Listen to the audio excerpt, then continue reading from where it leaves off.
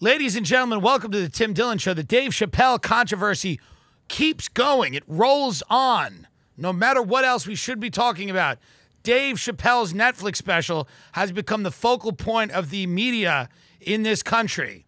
It is not the uh, rapidly rising prices of utilities, of food.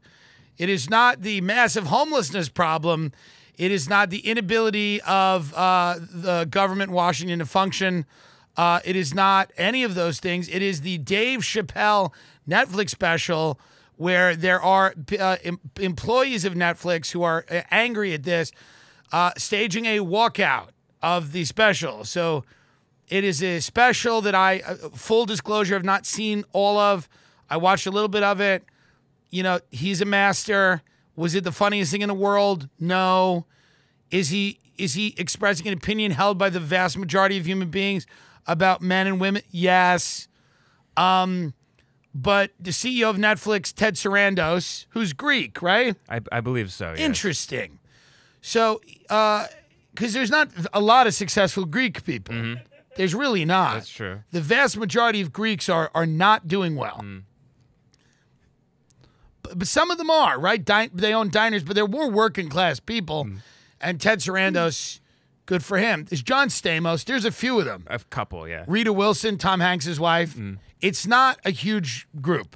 So Ted Sarandos, Greek, Giannis Papas, Greek, uh, defended Dave Chappelle and said, listen, guys, um, we're going to put out things. You may not like them. We don't think it's going to lead uh, to uh, real world violence against trans people. That was basically the gist of his uh, statement. Um, Netflix chief again defends Chappelle's special. Quote, content doesn't directly translate to real world harm. He said, We have Dave Chappelle on our platform. We also have Hannah Gadsby. And then Hannah Gadsby, who we don't know where she's been, she's somewhere in Australia enforcing a lockdown. I'll tell you that much. Where is she? She's in New Zealand, right? Blinking? Anyway, Hannah Gadsby, who's she's atypical, neurodivergent, whatever. She's not always with us. And when she is with us, she says some very disturbing things and then goes back to where she lives. And that's great. But she doesn't really know what's going on. Or she's kind of fuzzy. It just seems like she's fu- like a fuzzy photograph, right? Her hair is never quite mm. done. She's just kind of low. And this is the way it is. Mullen does a great impression of her, but every now and then she gets real fired up. You know, when someone insults Greta Thunberg or whatever, she gets real fired up when a white guy does something bad. So she looked at Ted Sarando. She's like, "Fuck him," and she literally said, uh, "She said, hey Ted Sarando." Just a quick note to let you know that I would prefer if you didn't drag my name into your mess. Now I have to deal with even more of the hate and anger that Dave Chappelle's fans like to unleash on me every time Dave gets $20 million to process his emotionally stunted partial worldview. Um, fuck you and your amoral algorithm cult. I do what with more backbone than you? What is that word? Uh, I can do more s, shit shits. I could do more shits with more backbone than you. what? What? But this is what I mean. She's not. She's not fully with us. Yeah. She's not fully with us, and God bless her. She's a child of God. She goes, "That's just a joke. I definitely didn't cross the line because you just told the world there isn't one." Gabs, Gadsby captured her post. Yes, I watched the whole thing. Leave me alone. Trans is beautiful. Comedy is dead. I killed it. Those are the hashtags. Hmm. It said it says here she's trans as well. I didn't I didn't know that. Well, I didn't either. I, I had no I had no I idea. had no idea. Does she talk about this in the net? I don't think so. I don't remember it. No, right? I don't know. Well, I want to see them, both of them hash it out. Hmm. You know? Who cares about any of this? Comedy's dumb. Stop watching it. Stop watching comedy specials. Get a life. Truly. Stop watching comedy specials. Stop watching specials. You have horrible lives. you have horrible lives. People are doing so much cool shit on this planet. Stop watching a fucking anybody talk for an hour, except this show, because this is different. But the others out there are wasting your time. Not me, never would. I respect you. Stop, turn it off, turn it off, and turn this on. they're canceling Halloween in Seattle, which makes me think, or not canceling it, but there's a school in Seattle where they're banning the Halloween parade, which makes you glad I own a house in Texas because, you know, it's good to hedge your bets and you don't know what's going to happen with these people. I don't know what's going to happen. Um, Seattle Elementary School cancels its annual pumpkin parade because it, quote, I don't even understand this, marginalizes students of color who don't celebrate Halloween. Who are these students that do not celebrate Halloween? I'm truly confused. Benjamin Franklin Day Elementary School. By the way, how is that still the name of this school? Benjamin Franklin Day Elementary School has canceled its upcoming Halloween parade because it, quote, marginalizes students of color. Administrators claim that a number of students, especially African American boys, do not celebrate Halloween I, and feel excluded. I've never heard, heard of this. Have you heard of this? We have our friends on the couch.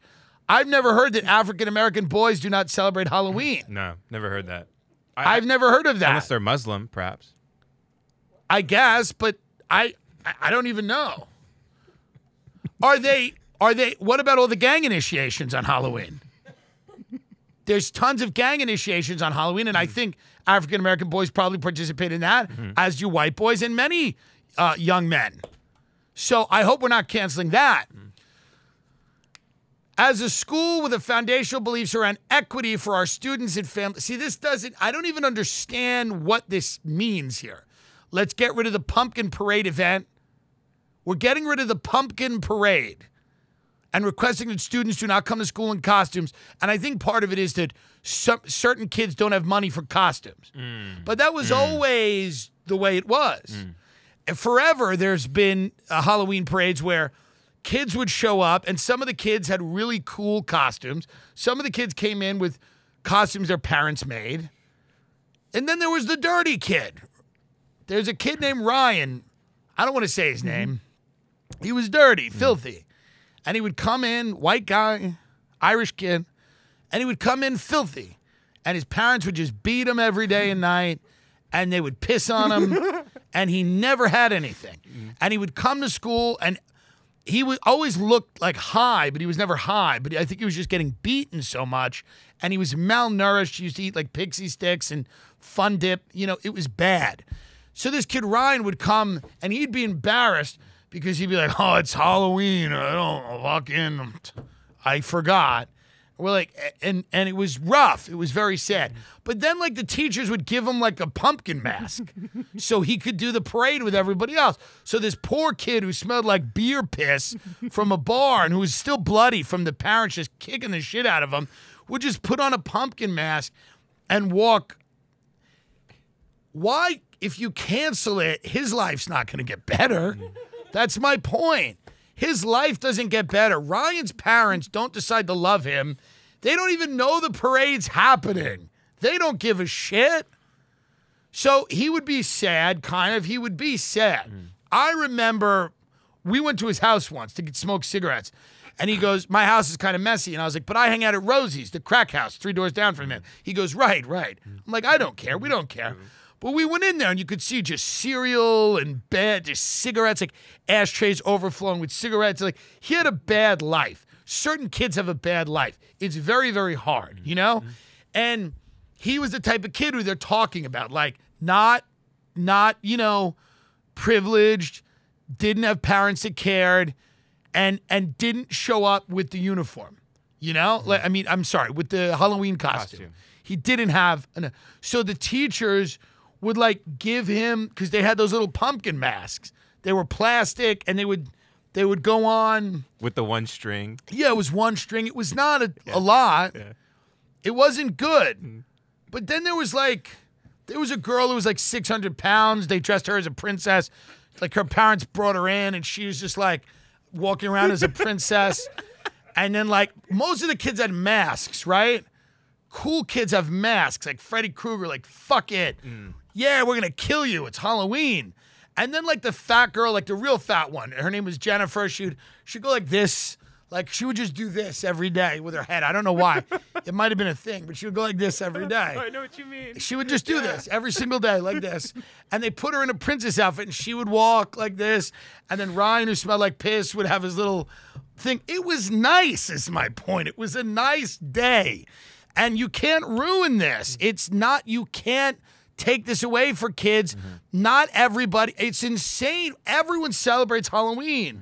Halloween is about eating candy and fucking smashing fucking car windows or throwing eggs, mm. shaving cream, vandalism. The, the the the the idea that you would just vandalize things. It's a beautiful idea. And these are people that are pro vandalism. They love vandalism. Well, where do you think people get the the itch? It starts with Halloween. They don't just get into Antifa. You start with Halloween. You do a few, you know, a couple of eggs, a little shaving cream on the stop mm-hmm. sign, and then you, you know, you graduate to, you know, federal banks in Portland. but I don't understand why they're taking this away. Is there any reasoning for this at all? Is there any reasoning? Uh, they decided to cancel the event this year because it'd be upsetting for children who can't afford a costume. That's that's all This it is, is. but then just buy them costumes. You cheap fucks. Why not buy them costumes? well, also they they cite the loud noise levels and crowds are tr- triggering for some children. Well, that I agree with. I don't like the noise. Get rid of it. this, I do agree with that. I don't like the noise at all. That's a very good point. All right, well, we'll have to skip it this year. Moving on, we have a feel good story. It's a very good point. I didn't realize that. They yell and scream. It is uh, disgusting. We have a feel good story now coming out of Austin, Texas. Now, we try to find these stories. God help us because, as you know, things in the country are not good. Mm-hmm. Inflation, the price of a McGriddle now is what, $38? dollars mm-hmm. One McGriddle, $38. it's bad. And the government just keeps telling you that if you complain about inflation, you're a Nazi white supremacist. And mm-hmm. uh, the press secretary is always like, What is it? I'm sorry that your gun is costing you too much money this month. You're like, Well, I'm, I'm kind of, you know, the, the chicken wings are, they've gone up. My family likes chicken wings. Mm-hmm. But the price of everything is going up food and gas, and the supply chains are broken down. Mm. Quote, almost everything a person needs to buy is more expensive. Blame the pandemic. Mm-hmm. The supply chains have broken down. We have all kinds of chaos. Now, can you play the video of this woman? Let's play this woman who's being interviewed outside a grocery store. There's nothing better than when you get a person outside of a grocery store uh, to give an opinion. Quote, everything has gone sky high from groceries to gas, prices skyrocketing and could get worse. Here we go. More than expected on everything from food to housing to gas. At this point, it is very hard to ignore. Everywhere we go, things are more expensive. So, how much more can prices go up? And what's causing this rapid inflation? Tonight, Christina Rex set out to get some answers. Prices are ridiculous. The meat is above and beyond. All right, it's gone sky high. Everything has gone sky high, and it's extremely sad. Have you The noticed meat, it too? the meat, It's the meat is above and beyond. and my husband likes meat. And I make him meat, and I've made him meat for my entire life. I brown it with butter in a pan. And it's sky high now. We eat six pounds of meat a week, and now I can't afford it. And I made a salad the other day, and my husband grabbed me by the throat and he took my head and he, he, he mushed it. You ever mush someone? He mushed my face. He didn't hit me, but he mushed me. He mushed me into the wall. And he said, You better find a way to make this work. It's sky high. Well, this woman, I mean, again, they're outside of a store called Market Basket. God help us. But it's sad because, you know, people need uh, the, you know, groceries and they're too expensive now. And, you know, it's, it's very unfortunate all this stuff is is going on and this is the the result of a breakdown in the supply chain. Uh there's other people saying blaming the pandemic they're saying the simplest explanation is everyone has been cooped up for a year and not spending as much as they ordinarily would and now we all decided at the same time we wanted to go out and spend money on things.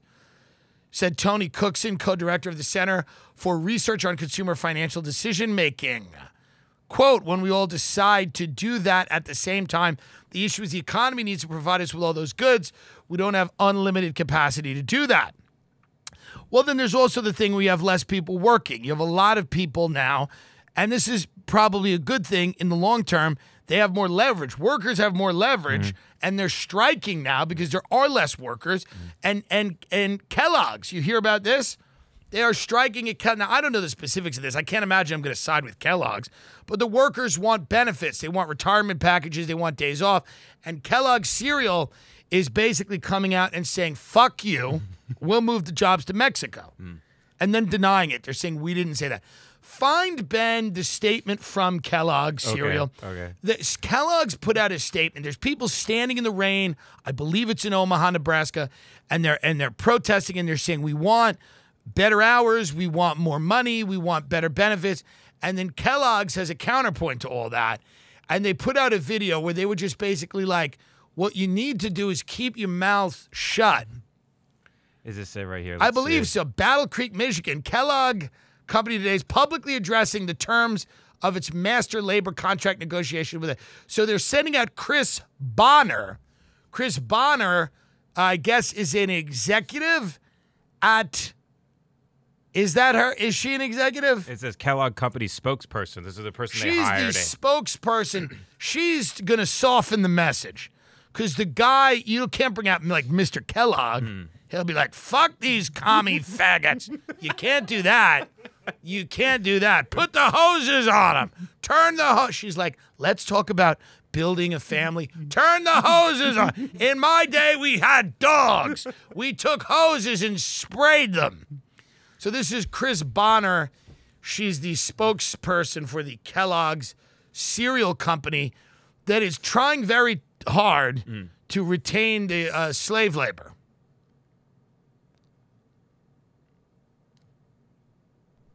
We value all our employees and I believe her. recognize their efforts. I- first of all, first of all, could anyone look? Couldn't they have gotten anyone else to do this than this Karen? Look at this woman.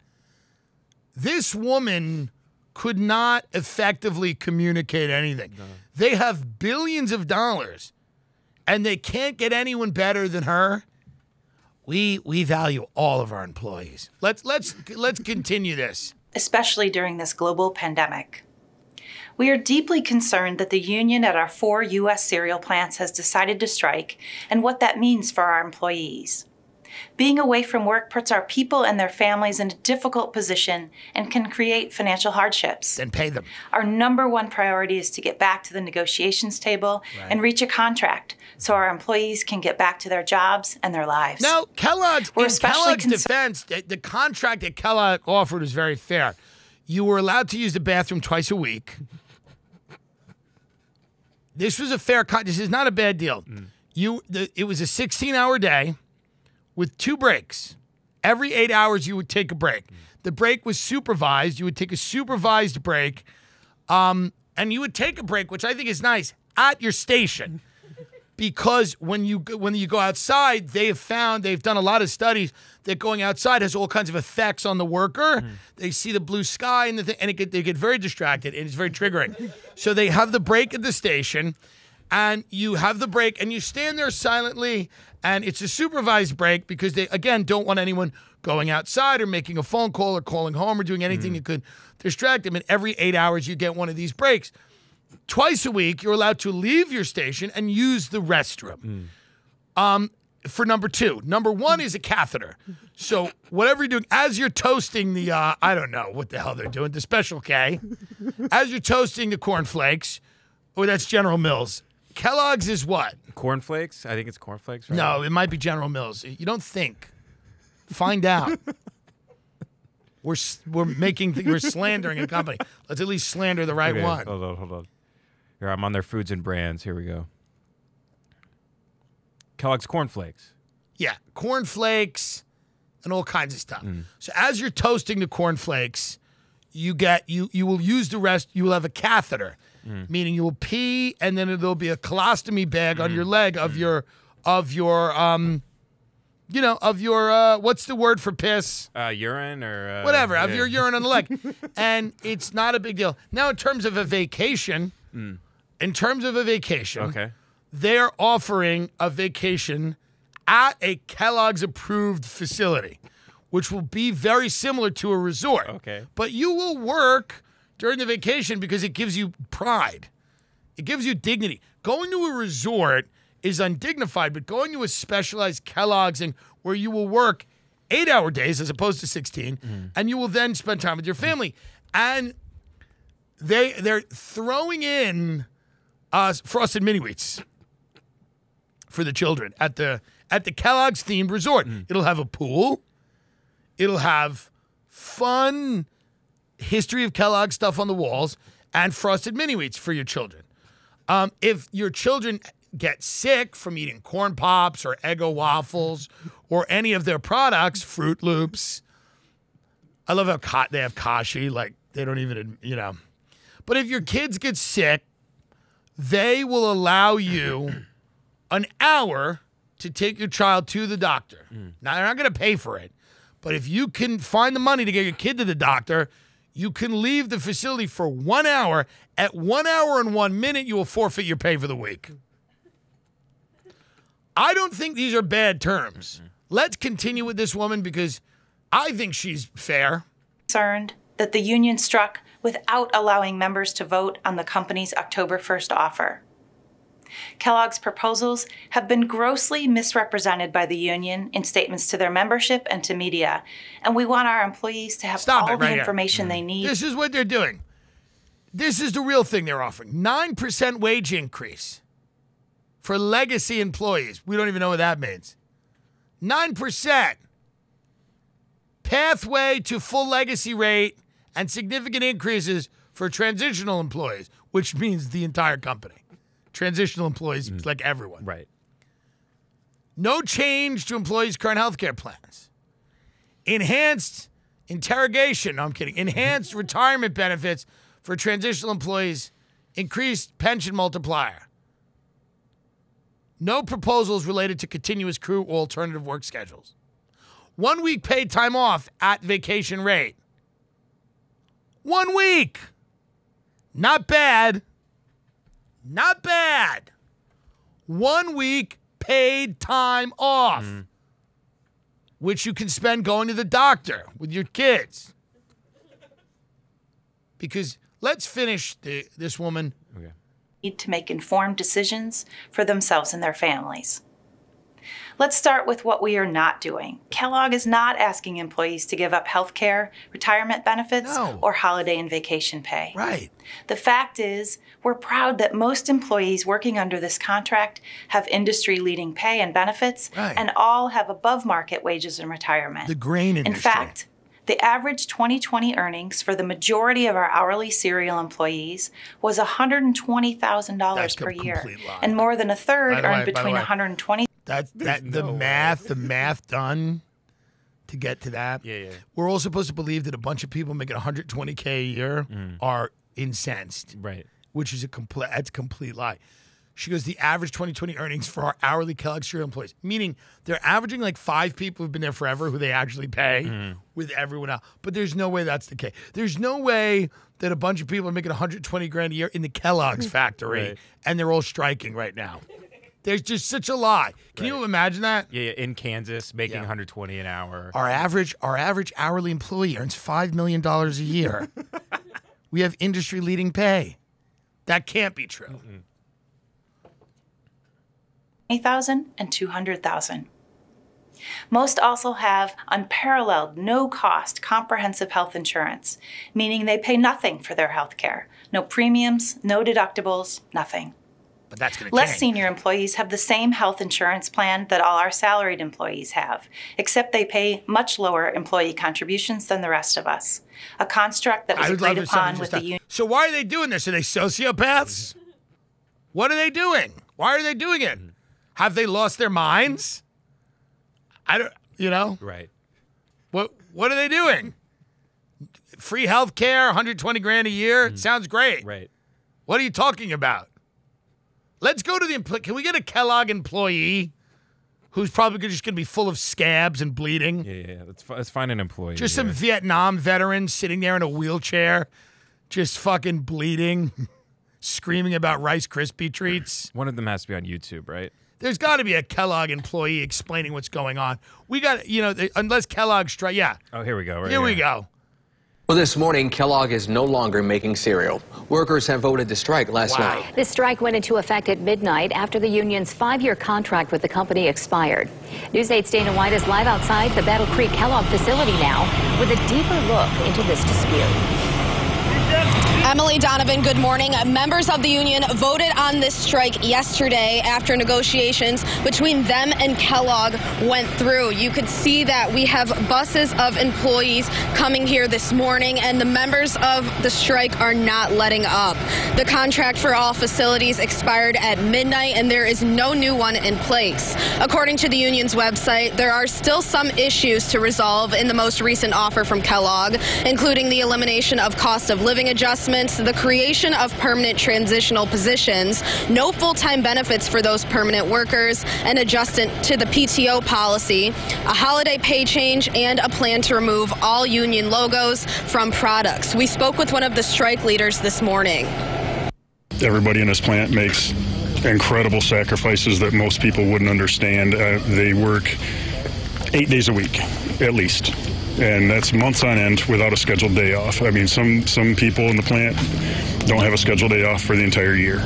Um, so we're we're not willing to accept that anymore.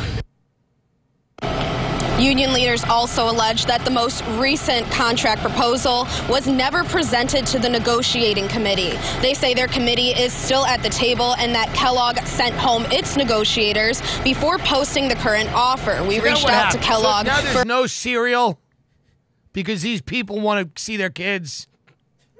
How lazy are these people? What's going to happen if someone wants cereal? Mm. Is everyone does do people not understand morality and what's morally right and what's morally wrong?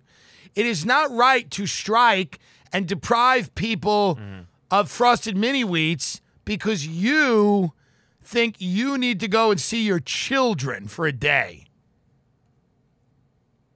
So there's a guy standing in a storm, and this has gone viral. Image of Kellogg's worker picketing in 3 a.m. storm goes viral. Uh, well, this these are the things I don't. This is like when you find a kid, you know, the drone strike. They they show the kid and the drone strike, and they go, "This is why we have to fight ISIS because." And you go, "What?" Um, I do like the Tony the Tiger. I'm greedy That's nice. Sign. It is fun because you know what you can do here with the strike, and people lose. You can have a lot of fun with the mascots. You can have a lot of fun mm. with the mascots. Mm-hmm. Like there should be a mini wheat with the the hammer and sickle. you know, the mm-hmm. communist hammer and mm-hmm. sickle. There should be a mini wheat doing that. Dress up a mini wheat as Joseph Stalin. if they're not dressing up mini wheats as Joseph Stalin, mm. the Rice Krispie, what are they, elves? They're elves, yeah. The Rice Krispie elves should be, uh, they should be painted, uh, killing executives, like cutting the throats of executives. The Froot Loops Toucan, Toucan Sam, Toucan Sam should have his arm around Mao Zedong.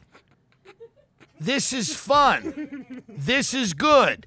This gets people thinking because you start going, oh, this is interesting. Even the mascots are getting involved. A lot of the problem is I don't care about any of those people. Right. You know the people with the signs? Who gives a shit? I don't know them. But if all the mascots got together, the Sun, Tony the Tiger, those twinks who make Rice Krispie treats, uh, and the cornflakes uh, chicken, if they all, or rooster, he's a rooster, whatever. His gender's none of my business. If they all got together and explicitly, if there was artwork of them killing executives, burning their houses down, mm-hmm. you know, mm-hmm. that to me would be a little exciting. I'd mm. want to get more on board. Yes. You know, get a picture of Joseph Stalin up. get a picture of Stalin up. Now let's imagine, get a get a nice picture Okay. of of uh, Stalin. I like this one. This one's good. Make that make, give the Raisin Bran sun put the Raisin Bran sun as stalin. I that's my point. BetterHelp people are sad. People are tense they're anxious the world is opening up again. And there's a lot of people that live in therapy deserts. That's like food deserts meaning you can't get good one-on-one therapy hmm. So what do you do? You go online and you talk to a licensed professional in under 48 hours with BetterHelp. If you don't like that counselor, you move on to another one who gives a fuck. You are in the driver's seat at BetterHelp. They have so many great counselors that care about you. This isn't a crisis line. This is real deal therapy. It helps people. H E L P. And it's better than other options. If you're feeling sad or mad or bad, go to BetterHelp. If you're feeling upset or bereft, go to BetterHelp. If you're feeling tense, if you're on the fence, go to BetterHelp. If you want to be a dancer or if you have late stage cancer, go to BetterHelp. If your pet has been dead a while or you're a pedophile,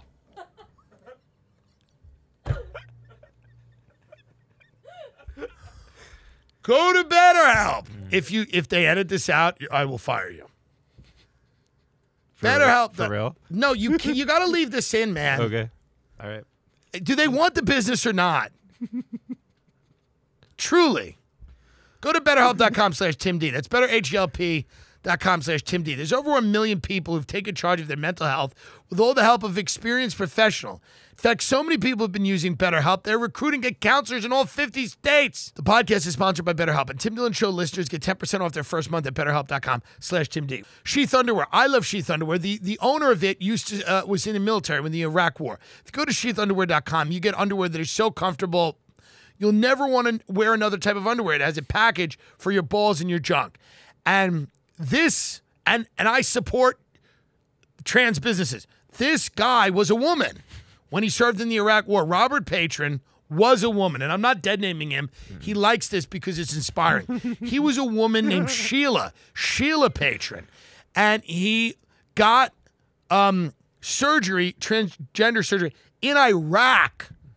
How fucking cool is That's that? awesome. It's fucking awesome. And then he became a, a, a- one of the first trans people to shoot a 12 year old in the head. Sheathunderwear.com.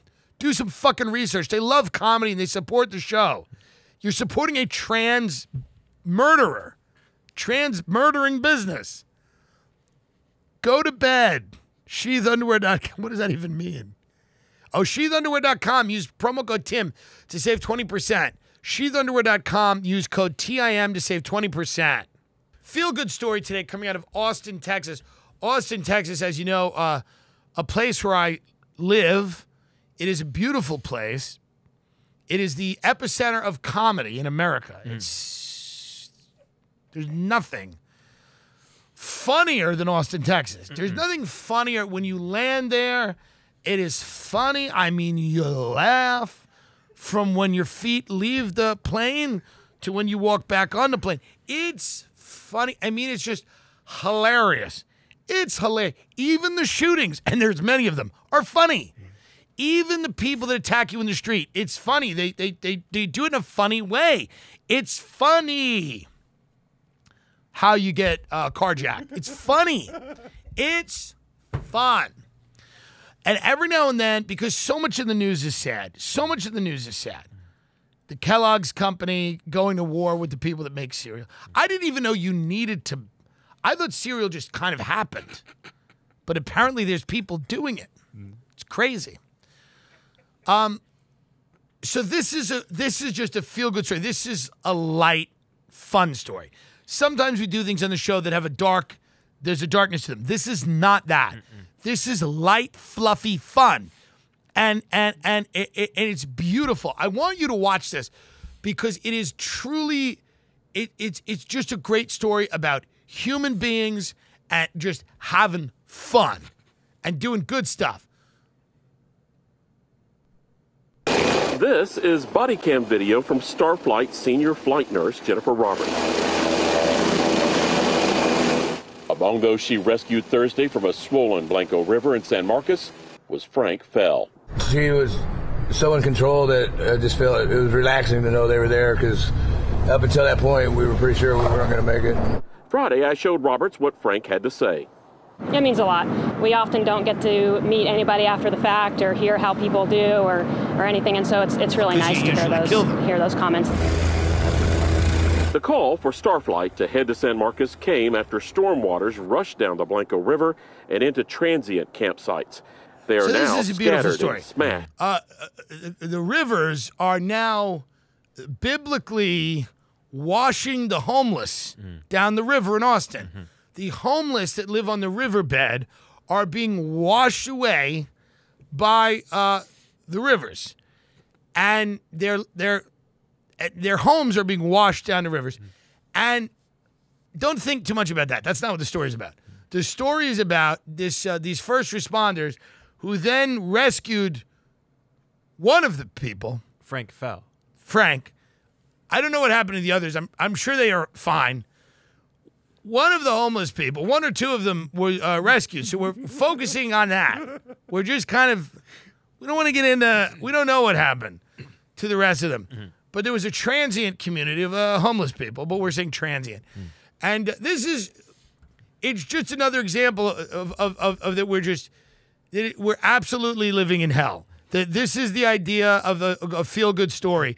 That the river is washing away the homeless, and that first responders ended up saving one of them. And this is a, a great occasion for all of us.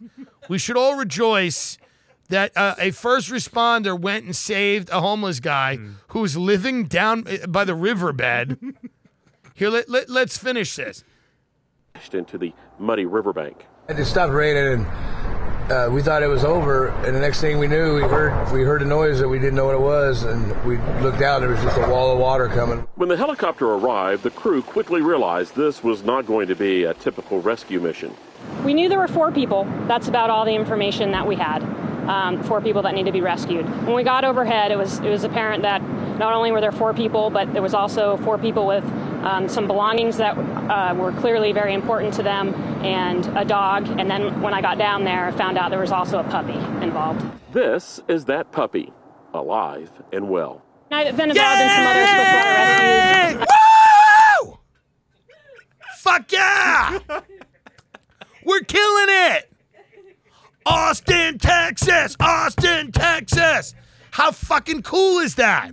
Come, live by the river, bring your pup, and it's gonna work out because this bitch may save you. It just, it feels good. I like when things feel good. And this just makes me happy. It makes me happy.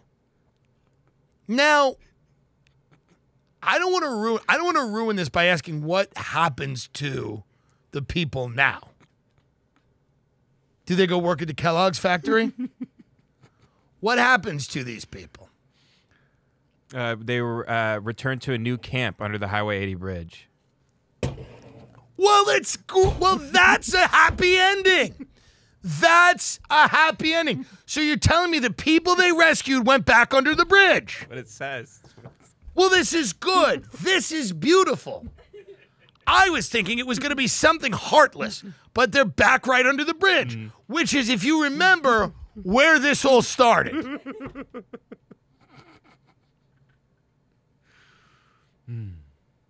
Now, so they, what do you do? You think they give them a shower or anything, or not really? They probably give him a new tent, right? And and then they put them back under the bridge. What, what's saying here? It's saying they returned under the bridge, and uh, the, the the these were all smashed and scattered into a muddy riverbank.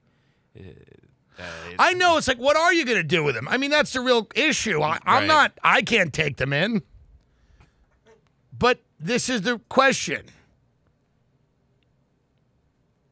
I I hope that, but this is just going to keep happening. It seems like it's not a great solution to just put them back under the bridge. But what do I know? but this is a feel good story. Hmm. This is what I mean about the feel good stories. Hmm. They're not going to be like they were in the old days. No. You know? No. No, you're not going to have that. This isn't a story about a guy who beat cancer. This is a story about people that were living under a bridge that were saved from a flood that have then gone back to live under the bridge.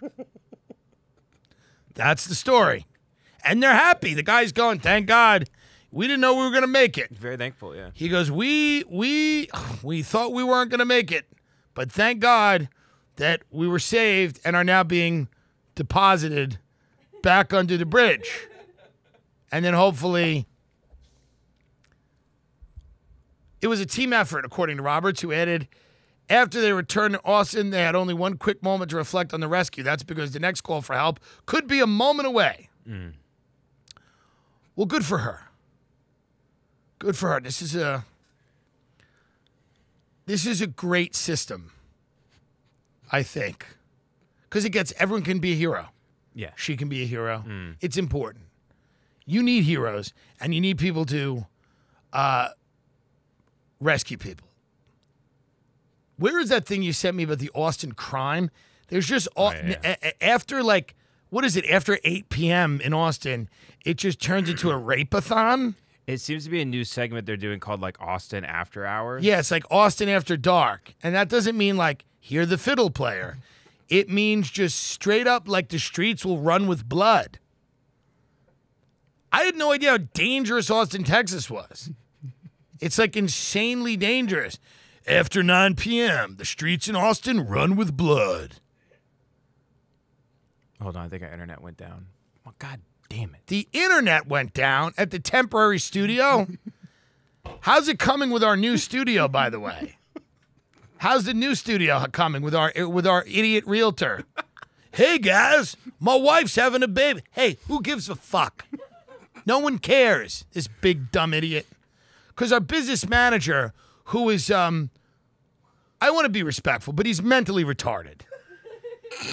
He every friend he has or connection he has is a bigger loser than him, amazingly.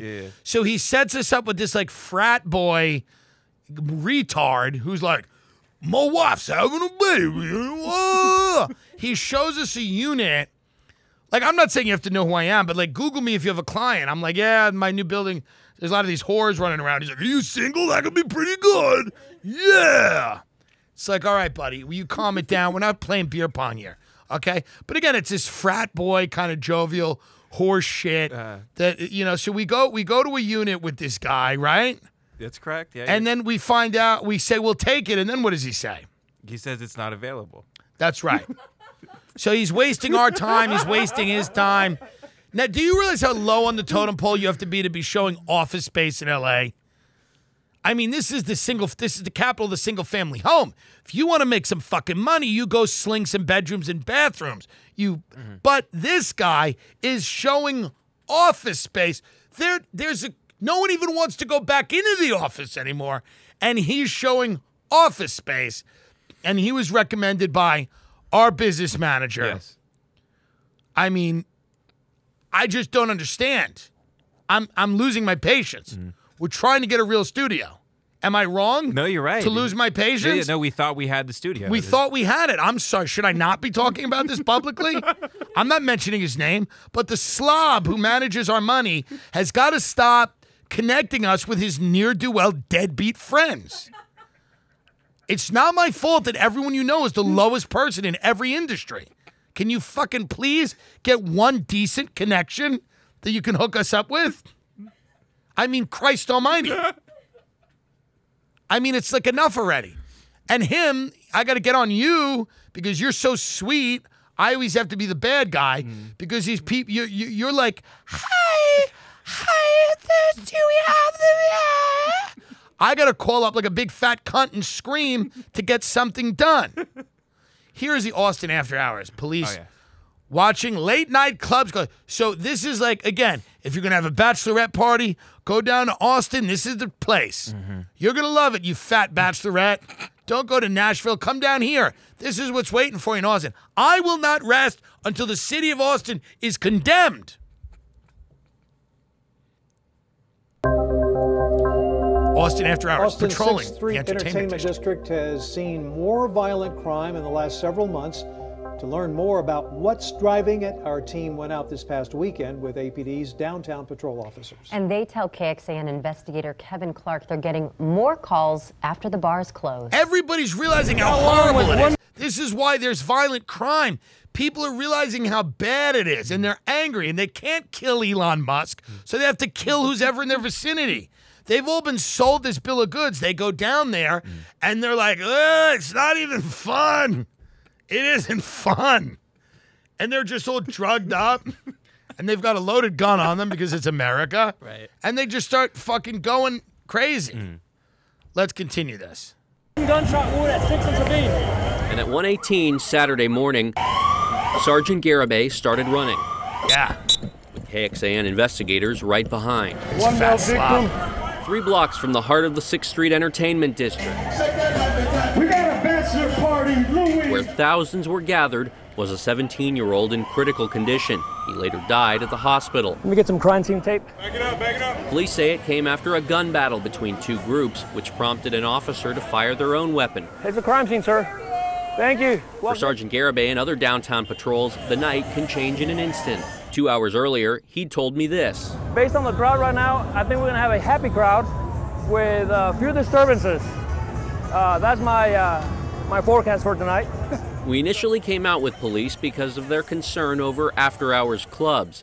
One of them we told you about is Tellers, which police described as the site of violent offenses from assaults, robberies, and even shootings. APD has written 47 crime reports tied to the Trinity Street address so far in 2021, more than the previous three years combined. That was a bar that typically generated a lot of calls for us after bar hours. Uh, a lot of disturbances, you know, that took place in front of their bars. Well, whatever. Closed temporarily. I'm not. I'm not trying to. I don't care about after hour stuff. I'm not trying to like get somebody in trouble here. What I'm trying to say is that this city is just always on the brink. Mm. It's always on the brink of exploding in gunfire every night. I mean, God, we got hoodwinked. How do we get hoodwinked like this? You're supposed to look out for me, and you don't. I let you down. You let me down big time. You should have told me. You got excited to go back to Texas. A little bit. Yeah, you did. Cause cause people like you down deep, you know, it's your culture. It's not my culture. Mm. You know? Yeah. It's not my culture. It's your culture. You know? I'm not, you know, like I appreciate all the cultural experiences. I mean, you had cops at your wedding. You had police at your wedding. Sheriffs. You had sheriffs at the wedding Mm. making sure people didn't drink too much. That's not my culture. it's not my culture. There's nothing wrong with it. I'm happy. I enjoyed your wedding. It was very nice. Thank you. It was very sweet. Thank you. But this is just a different way of life for me and for a lot of uh, people that we know. But you, you know, there's something about you that you, you, you also uh, realize that this is, you know, this is not good. You must, you must leave. It's horrible. It's horrible. It's terrible. You know? You you you have to not do this.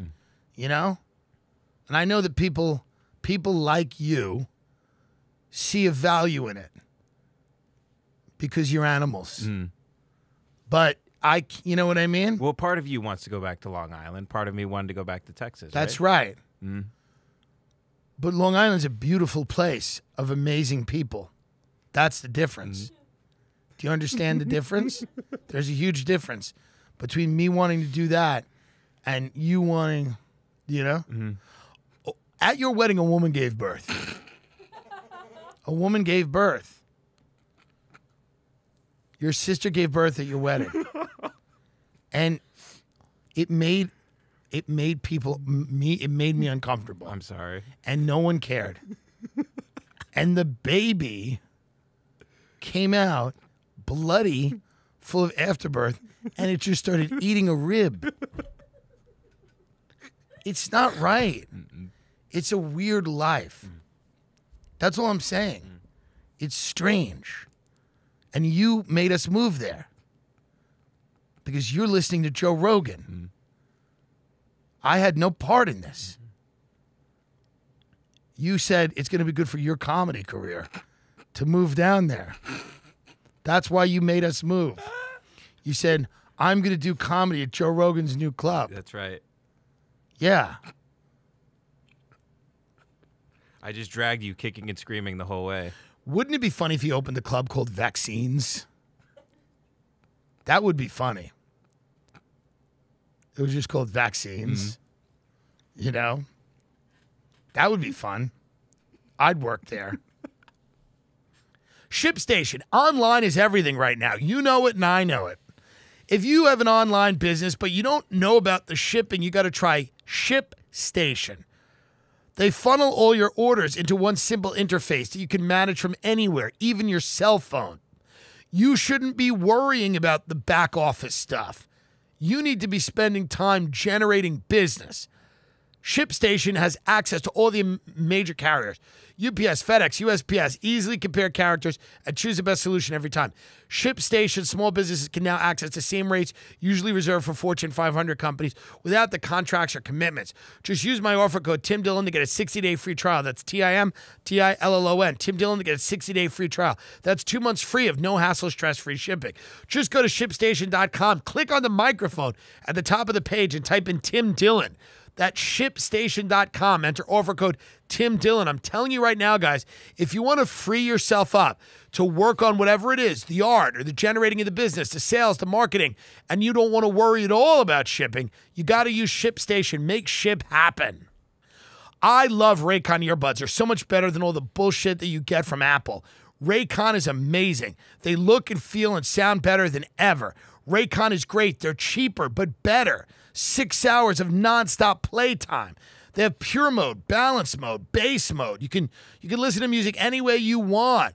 They have noise canceling, but they also have a feature where you can also hear noise if you want to, to make sure that you stay alert. Raycon started half the price of other premium audio brands, but they just sound they sound just as good. They sound better. Raycons come with a 45 day happiness guarantee. If anything happens, they'll replace it.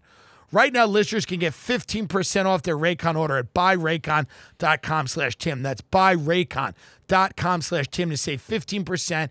These are great headphones. They're better than everything else. I have Raycon earphones and I use them. And if I have extra ones, I eat them. They're also good as a snack, but I like to listen to them. I put them in my ears and I listen to people sing. Steve will do it. We can't say enough great things about Steve. Steve is a philanthropist along with his friend Takashi69. They go around and help people. Steve does give people money. Steve from Nelk, we all know Nelk. Mm-hmm. It's the group of pranksters that run around the country going to colleges, telling people to have fun and party mm-hmm. and drink and jump off roofs and be cool. The Nelk Boys. Steve is the breakout star of the Nelk Boys. Check out his Happy Dad seltzer available in stores in Florida, Nevada, California, and Massachusetts. Not the brightest states, but that's where they're marketing the Happy Dad in states where people party, right? Florida, Nevada, California, and Massachusetts. They're not 50 states yet, but they're starting with the states where people are most likely to uh, become paralyzed after a night out. Steve is one of the most he's the biggest emerging one of the biggest emerging fashion brands with Full Send. Go to fullsend.com. Sign up for exclusive merch drops. Everything is currently sold out. And if you don't want to miss it, you got to go to fullsend.com.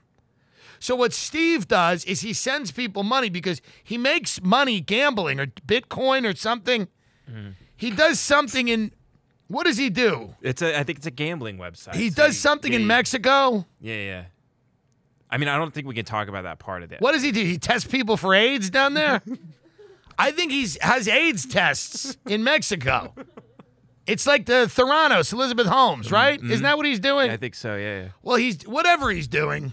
He, he's donating money. He gives money. Some people Yeah, say I need money, and he gives them money. And don't get any ideas, people, with me. But he'll send them like six hundred dollars on Venmo. He's a good person. Mm-hmm. He's a good guy. Mm-hmm. He is. He like he drinks. He'll drink a, a fish tank of booze. And then grab Takashi six nine, and then go. He, they just walk into a cancer ward and make it rain. They just make it rain in a cancer ward. All mm-hmm. those little bald kids with the full send hoodies, and he's just good like that. Mm-hmm. He's good like that. He gave David Dobrik a Tesla, and David Dobrik is an underprivileged guy. Right? That's right. Because he's had a rough time. Remember, because he tried to kill his friend. Now, and there's nothing wrong with that. I'm not mad at him for that. Who cares? You you you you you you you you, you threw your friend off. Uh, what do you put him on a parachute or something? And whatever the guy hit the water at the wrong angle. He thought he was dead. Shut up. Everyone's a puss. So we'll do it. Gave David Dobrik a, a Tesla because uh, it's nice. I thought it was a rape thing. Well, no, that was uh, that was before that. Oh, okay, gotcha. And it, you know, I don't know what's going on here. David Dobrik is never accused of that. Gotcha. He was never accused of doing anything Gotcha, wrong. gotcha. See, when you say things like that, that's legally actionable. that's why you don't speak. Some other guy, part of his crew, might have been at something. Right, right, right. But I'm not. A, I'm not a let's blame everybody for everybody. No, thing. no, no, no, I'm not into that. I have no issues uh, with uh, uh, uh, David Dobrik, and and I don't know anything about him. Mm-hmm. I don't. I, I like entertainment, and if a few people get paralyzed for entertainment, Mm-hmm. not a big deal for me. Go to Steve Will Do It's YouTube channel right now and see what all the hubbub is about for yourself. Steve drops new videos every single Thursday. He loves cigarettes, but then he quits and he goes back. So go there. Steve Will Do It is YouTube channel. That's S T E V E W I L L D O I T. You got to spell it out. Steve will do it on YouTube. Um, I think these Nelk kids are really helping out because they are are teaching young people that life is about getting drunk and using drugs and having sex and partying. And I think we've gone so far away.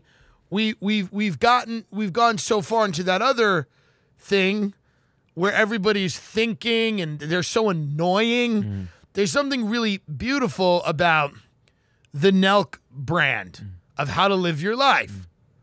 Mm. Nelk is a way to live your life. It's a way to live your life. Now, you have to stop doing that eventually because you're going to die. Right. You're going to die. Yeah. But the good news is, fuck yeah. Fuck yeah, you're going to die. So Steve will do it. LLC. We love him. He's a fan of the show. We've never met him. We had one dinner with these people and he chose not to show up, but that's okay. I don't know what he was doing. Brushing his teeth or something. I don't know, but he didn't come. And uh but it's fun. It's a it, they're a great group. I'm a fan of the uh, Nelk philosophy on life, which is like, hey, who cares where your shoe is? It doesn't matter that you're failing. That's their philosophy. Who cares about your shoe? Your mother's a stupid bitch. What was she going to do with that money anyway? She's spending the money on your college, but what was that dumb whore going to do with it? Who cares? Your academic advisor can go fuck himself. That guy's a loser. He keeps running his fucking mouth. Maybe you'll just beat his ass. Beat his ass, bro. Break your academic advisor's neck if he tells you that you're the. And fuck your doctor too, this fucking cuck who tells you that you have cancer of the liver now. It doesn't matter. Sometimes people throw up blood. It's part of life. You know? And I think that's a decent philosophy on life. Mm. Fuck your mom. Fuck the cops. Mm. You can handle it. Seven beers deep, you can handle driving to another bar. Mm. It's not a big deal. You understand? Yeah, they're very forgiving of, of people's pasts. There it's it's old school Christianity. Yes. Really? Yeah. Yeah. That's what I think of when I think of Nelk. Of like an old school Christianity. Mm-hmm. Yeah. I talk to guys in college sometimes because I want to have sex with them, and all, all of them they always say to me like, "Get me, Facetime me with Steve. we'll do it." Mm. That's their they all they want. Mm. That's all they want is to talk to Steve. we'll do it. That's literally all they want to do. That's their entire life. Mm. It's it's amazing. He's a cool guy. He's a very cool guy. We haven't met him. Hopefully, we'll meet him. Um, go to his Steve will do it on YouTube. We're not doing the smiley face killer episode. We went to interview one of these uh, people, uh, an academic about the smiley face killer. He was mentally unwell, and it, we're not putting the episode out because maybe these kids are getting thrown into rivers. They probably are, but God help them. The people that are trying to figure out what's going on are have been trying since 2006, and they're all frauds. And this guy was mentally ill. He said, "Do you want to speak to my girlfriend? She has a gift of prophecy." We went all the way to fucking some fucking horrible town. Ugh. So we're not putting the episode out. Yeah. We're not putting it out. Yeah, big waste of time. It was a huge waste of time, which again, you did. You got to vet these people. Mm. You have to vet them. Mm. We tried. Should we play a minute of it for everyone? I mean, I haven't mixed the episode. I I think I have it somewhere. Let me see. Play a minute of this mental patient that we had to suffer through. I got it on my external. Let me grab it. Hold on. We we we we we we go there and the guy's confused. He's out of it. The smiley face killer theory is these young, athletic, college age males end up in the river. Some of it maybe they fell in, but a lot, but they think it's some cult or something. So we go down there to interview this old guy, and he like kind of confesses to it. He like literally said, "I predict where they're going to be, and I make sure I go to the ATM and get money out so they don't think I'm doing it." I Every go, three hours. What Yeah, the yeah. fuck's this? Yeah. So let's play a minute or two of this so you could see how crazy he is, hmm. so that you know you can understand why we can't put this out. We're trying to do a fun Halloween episode. Okay, so I have his audio. So let me let's just play his audio. I haven't mixed the episode. Yeah, just go to the middle of it or something. Okay, here we go. After about 45 minutes, I said, you know, people who are unemployed or uh, in and out of work, uh, retired, it seems to be just like any other cult. Have you guys ever spoken to somebody who is a member of the group or an ex-member of the group or anything like that? Uh, we have, and uh, uh, of course, we've certainly protected their identity. Okay. But they haven't. In the past, uh, So you've spoken to an actual ex-member of the group that's carrying these things out. yeah. Okay. Yes, we have. Guys, they're- he's nuts. This guy. Yeah. Yeah, we have. Just skip around one more time. Yeah. that stood out to me, especially as it started to spread out across the United States. If I were to take the profile and, and you, you can go online, just pick any one of these young men. He starts going down, into Facebook now, and it, I can't. uh, We can't even. I can't even deal with it. But we flew there to interview this guy that's been working on this case since 2006. We go, "Do you have any motive?" And he goes, "We're not releasing the motive." And I go, "Why are you not releasing the motive?" He goes, "Well." Then there'll be copycat killings, and I'm like, well, there, there's already copycat killings, and what do you mean the motive, dummy? Nobody's gonna copy the fucking motive. So he he refused to talk about the motive. He Right. He's the guy was a sweet man, but he's senile. He, he didn't want to give away the symbols, the motive. You the whole thing's the smiley face killer. You gave away the symbol. But I think it's these detectives that like they fill these families with hope, and then because there are shady, these drownings are shady. Mm. You know, these don't make any sense. Mm. So these like goons from New York, the detectives, they're like, "Hey, your son ended up in the water. I'm gonna solve the case. I'm gonna solve the case. I'm doing a lot of work. I need money. Can you give me money, and then I'll I'll make all the bad people pay." And then the families like give these dirtbags money, mm. and then they just like these dirtbag detectives buy Chinese food with it. And they did a show on the Oxygen Network where they're exploiting the deaths of these people. And they have absolutely no leads. They have nothing going on. Mm-hmm. And instead of like investigating it, they're just like eating egg rolls in New York. We do the inve- Can you play the? Please play. Can we play the Oxygen Network trailer? Yeah, absolutely. Play the trailer for this material. this hunk of shit that Oxygen Network did uh, with these three goons claiming that they know about the smiley face killers. oh, not the Bret, Bret Easton. Ellis also just did a horrible movie about the smiley face killers because that guy is the smiley face killer. Remember when he wanted us on the pod? Like, he said to me, like, I was like, "Can you do my podcast?" He goes, "No, but you can do mine." Remember that? Yeah, he kind of big time. And he had like three thousand patrons, and we thought that was huge. Yeah, yeah. Yeah, fuck you. American Psycho was good, but after that, it's been a lot of shit. What is the what what what is your Patreon? You talk about Laurel Canyon with Lindsay Lohan? Cut it out. We've had enough. Had enough of him. Next. This is the uh, the uh, trailer for the uh, fake show on Oxygen where these three detectives go around pretending they know uh, who the smiley face killer is, and it's it's like Teresa Caputo, the Long Island uh, medium, who's pretending that she knows that the dead kid. I mean, it's so heinous what they're doing to these parents. They're like they're like, we got all these leads. We're gonna make it right. We're gonna do, and they don't have shit.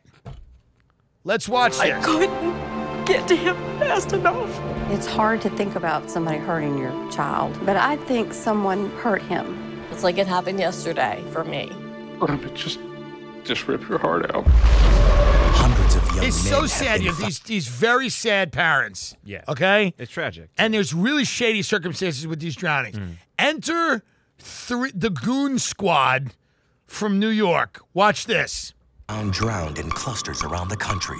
We've been investigating for the last 12 years. 12 years. He was heading home and heading that direction. The $50 million question is, how did he get in the water? This is where the dogs lost the scent. They lost Todd's scent right here, pavement. All classified as accidental or undetermined. When the numbers start to add and you just you see it, something's not right. So there is a pattern that's been growing. It doesn't make any sense to me. He was a champion swimmer in high school. Nobody believes it was an accident. Nobody. These retired NYPD detectives aren't buying it. All we know right now is that Dakota James did not drown accidentally. I can't tell you what happened to Luke, but I can tell you what didn't happen to Luke. In almost all the cases, we have found smiley face graffiti near the body recovery site. The smiley face graffiti links all our cases. The search for truth He's got defensive wounds and offensive wounds from blocking and striking. He had to have been deceased from the drugs prior to entering the water. could reopen hundreds of cases. This is a highly suspicious case. Smiley face, three stars, three victims recovered. And bring justice to these families. This is what the family wants. They want a true investigation. I believe that Luke was murdered. I mean, I know I can't bring my son back, but I just really wanted justice for him. He was never going to come back, and he was my I mean, only it's child. just so sad. And that's what here's the thing: I'm not saying these kids aren't being murdered. I- I mean, what I'm saying is that these detectives have been working on this case since 2006. They have nothing. They have. There's not a suspect. There's nothing. They have nothing except a TV show. That's not the goal when you investigate a case. Is to get a TV show like fucking 10 years later mm. to, to 15 years later. The goal is to solve the crime. Mm. Well, I think they wrote a book. Yeah, they wrote a book and they got a TV show. They got a real great career. Solve the fucking crime and they, they can't do it. And you have these poor parents that are now sick of these detectives. They're like, because they're like, hey, I got a lead, you know? And that voice, one of them's being banged up for sexual assault or whatever. I don't know, but uh, the Oxygen Network, I think, parted ways with these three goons. They said, get out of here. Tell it walking. Because the detectives are from New York. They're like, I'm a New York detective. I'm a New York detective. I'm going to figure it out. I'm going to figure it out. I don't know anything. I don't know anything about how your son died. But I'm here to bother you and to get on TV. Have you heard of television? We're going to be on TV together. You had a horrible tragedy. I have no career. Those two things are beautiful. You look at the camera and cry, and I'm going to present myself as a guy helping you when all I'm doing is wasting everybody's time. They went on like Dr. Phil. Mm. It, it's just it, it's just not right to do, right? No. It's not right to do. It would be like if I kept showing up to like like someone if I was looking up like missing kids and I kept showing up to their parents' houses and telling them that I had an idea of how it happened. And I'm like, I got a podcast. We're gonna figure it out. Right. If I kept showing up. Mm. Do you have any leads? I go, No, but I think something shady happened. They go, Yeah. We'll figure it out. Let me get my goon squad. Can you get the first episode up where these fucking idiots are eating bacon, egg, and cheeses? Remember they're eating in a diner? It's the first They're, like, episode. greasy spoon. Yeah, they're eating at some greasy spoon diner. It's a real fucking uh, Food Network special. see if they have them up here. These parents are crying. So then they bring in the Hollywood medium, who's not the Long Island medium, he's the gay Hollywood medium. And then he like talks to one of the parents. Like, it's so heinous what they are doing to these parents. I don't think it's this clip. Let me see. Maybe it's this one. No, it's the first one. It's like the first thing in the series. I'm They're have like to buy it. Hold sitting there and they're eating like sausage, and they're like, "Hey, fucking a smiley face killer." There's the smile. And I'm all for believing these people end up in the river in a very suspect way. And I'm not dis- all the things we figured out on this show, and not figured out, but you know that we just know in general, Epstein and Johnny Gosch and all that stuff. I'm not dismissing the idea that these kids are meeting their end, uh, you know, in a way where you do have, but this is the beginning. By the way, can you imagine if your son died in a river? Your son is dead. Not someone like me who my parents want dead, but like a young, hot mm. college guy with a thick cock mm. that you see even as his parent, you don't want to fuck him, but you're like, look at that cock, you mm. know? And and imagine your child has been murdered. He's dead. These three sausage and pepper heroes show up to your house and they're they tell you there's a TV show about it, and now you're gonna you're gonna crack the case wide open. So you've got your dead child, your life is ruined. Justice is in the hands of these fucking meatballs. This is scene one in the TV show. I would throw them in the river. You know, the food's got to be good. Oh, That's right. It's a real greasy spoon. It's a big winner. They're talking about food. Yeah, for you, sir. Okay. Doctor. Thank you.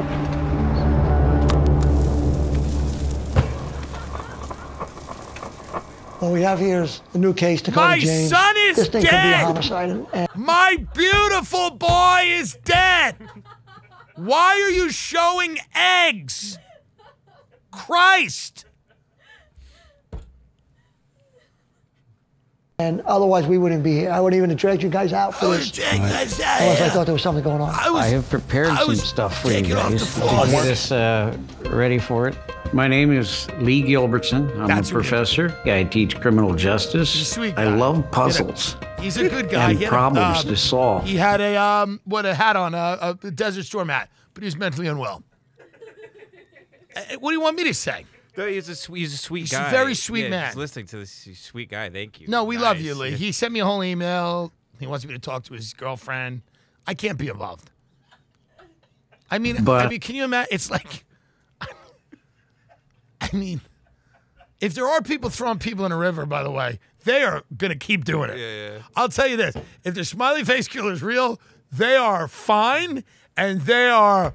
I mean, not even a small hiccup in anything they're doing because the brain trust assembled to fight them is amazing. But uh, mostly it's the injustice that these families are experiencing really pisses me off. By you guys. What do you think? You think that he's one of ours, Dakota? I'm Mike Donovan. I'm a retired NYPD detective. When Kevin asked me to come on board with the Smiley Face Kills investigation, I wanted to knew get out of the house. My Barry. wife's like, hey, Only what are because you law doing all the enforcement time in the house? I said, let me, these cases let me go as exploit the criminal grief cases. for some That's what makes this on really, the really Oxygen difficult. Network. Well, I like the fact that it's Look possible guy. Jesus homicide Christ. has not looked at this case. I'm Anthony Duarte, a retired detective from the Bronx. I'm devoting my retirement to working on the smiley face cases. These kids are not just falling in rivers and drowning. I believe there's a lot more sinister Make activity going on. arrest. All right, let's get out of this. But but Christ Almighty, like even Jeffrey Epstein got arrested. TimDillonComedy.com. I mean, it's that's really all that needs to be said. Fucking Epstein got arrested. You Yeah. can arrest one of these fucking people throwing someone in a river. Mm.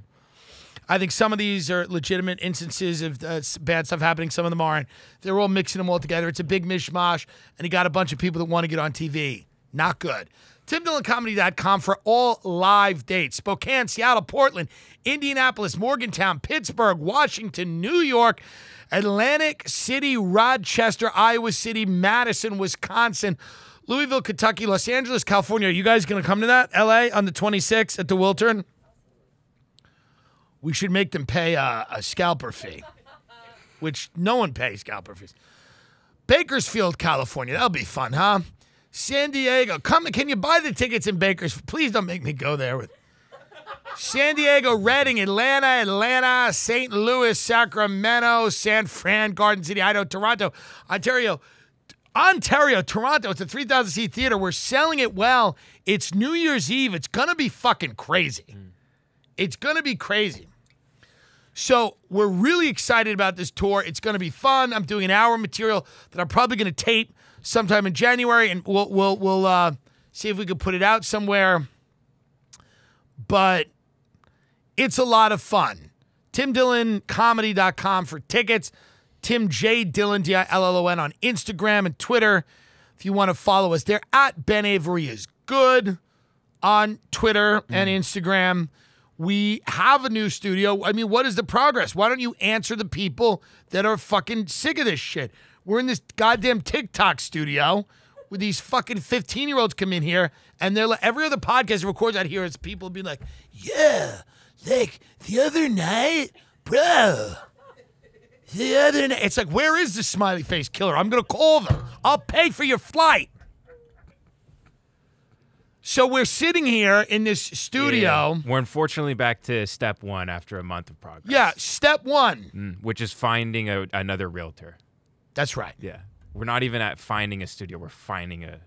a Because I got all plans. I got a whole thing I want built. We got a whole nice thing here. I know. I know. If you and your wife would spend less time fucking around in Texas and more time getting it done, Mhm. what are the ads? Where are the ads? You ready to go to ads? Okay, let's go to ads. No, let's not do the ads. I don't know. What do you What do you want to do? You want to eat?